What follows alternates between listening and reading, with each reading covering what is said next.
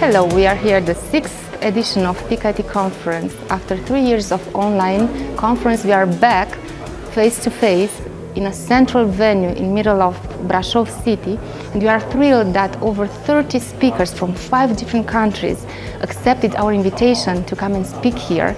We, we are grateful to our partners who helped us continue building and strengthen the IT community uh, among which Nagarro, of course, is one of the most important partners. We have a special uh, relationship with them because uh, they have been our partners for the past four editions. I am um, hopeful that this community will grow stronger and stronger and we already have plans for the next edition. So stay tuned, you will hear about Peak IT.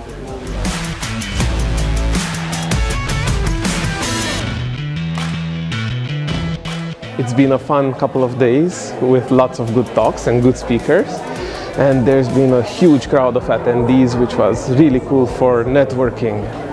Uh, in terms of our collaboration as Nagarro with this conference, uh, we uh, get the benefit of being more visible to the community and helping the community out.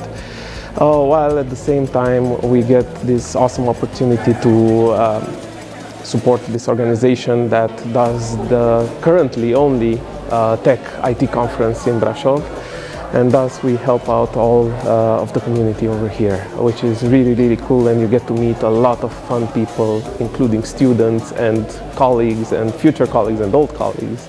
It's been really amazing and I hope to see you here next year.